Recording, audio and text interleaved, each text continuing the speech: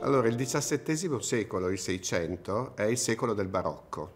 un termine che è stato usato eh, diciamo a posteriori rispetto allo sviluppo dell'arte e dell'architettura di quel momento, indicando un'alternativa al linguaggio rinascimentale. Le due cose non vanno viste in modo contrapposto. In realtà il linguaggio barocco è una trasformazione dei linguaggi che venivano dal manierismo, quindi l'uso dell'artificio, l'abilità tecnica,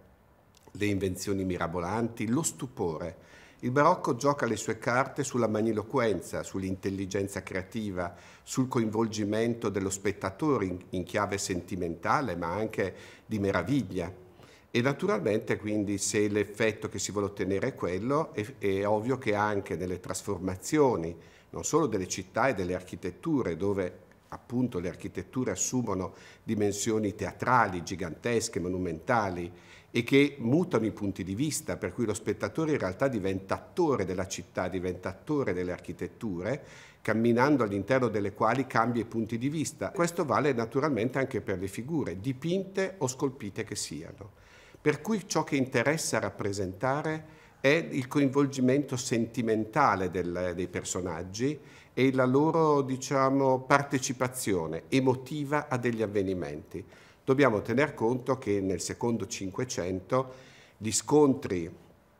diciamo teologici e anche politici naturalmente tra la riforma protestante, i paesi del nord Europa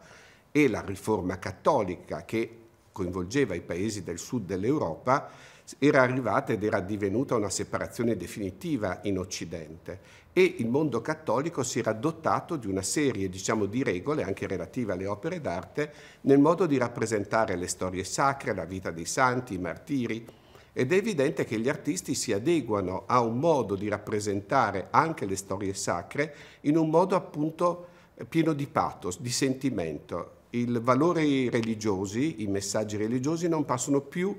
attraverso diciamo, un equilibrio formale che era tipico del Rinascimento, ma attraverso appunto un coinvolgimento di tipo psicologico, diremmo oggi. Ma questo vale anche per le storie antiche, il mito, le storie bibliche. Bernini, che è stato forse il più grande scultore di quel secolo, rappresenta appunto il mito di David eh, che combatte con il gigante Golia in un modo alternativo di come l'aveva fatto Michelangelo in, praticamente un secolo prima,